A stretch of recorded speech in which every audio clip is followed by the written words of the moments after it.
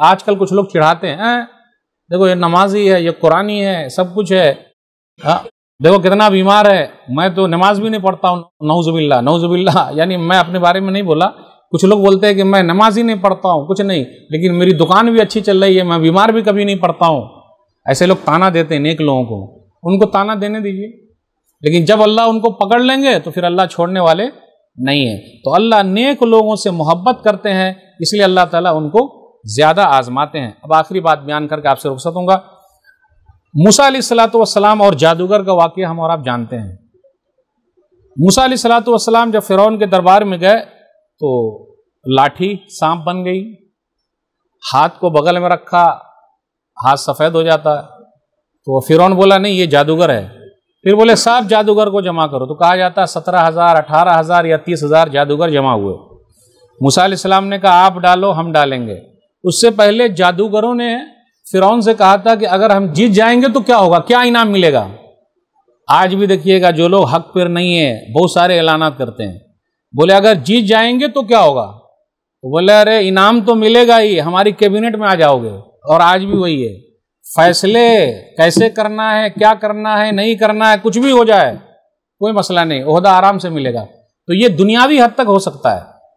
तो ये लोग खुश थे कि, अरे फिरौन की कैबिनेट में हमें जगह मिल जाएगी, अब क्या चाहिए? जब आमना सामना हुआ तो मूसा सलाम ने कहा, आप दिखाओ। तो उन लोगों ने दिखाया। मूसा सलाम ने भी लाठी डाली, लाठी ने सब निगल लिया। जब निगल लिया तो जितने जादूगर थे सब सजदे में चले गए। आयत नंबर 114 से 126 तक पढ़ी है पूरा लंबा वाक्य।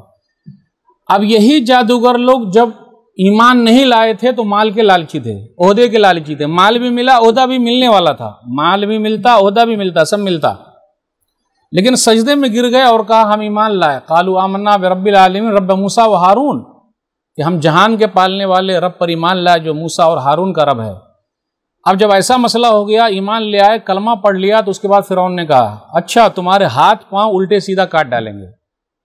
ये हाथ तो वो पैर या ये हाथ तो वो पैर उल्टा सीधा काट डालेंगे। और काटने में भी दिल को तसल्ली नहीं, उसके बाद सूली पर लटका देंगे काट कर काट के वैसे ही मर जाते वो बोले, सूली पर भी लटका देंगे। इतना होने के बाद, अब जब वो कलमा पढ़ लिए तो हाथ पैर काटने की धमकी भी मिली, सूली पर लटकाने की धमकी भी मिली, उसके बाद एक ही बात कहा, वो मातन का मोमिन्ना इल्ला ना मन्ना ब्यात रबना लम्मा जातना। रबना अफरीक अलैना सबरों व तवफ़ना मुस्लिमीन। आप हमसे इंतकाम और बदला इसलिए ले रहे हो कि हम एक अल्लाह को मानने वाले हो गए और उसके बाद उन लोगों ने दुआ किया है, हमारे रब हम पर सबर उड़ेल दे। तो ये सबर जो है ना, हर जगह आता। लोग पूछते मौली साहब, कितना सबर? तो उसका एक ही जवाब है, जब तक चले ना जाए कबर। सबर करते रहिए। हम पर सबर उड़ेल दे और हमारा खात्मा इस्लाम पकड़।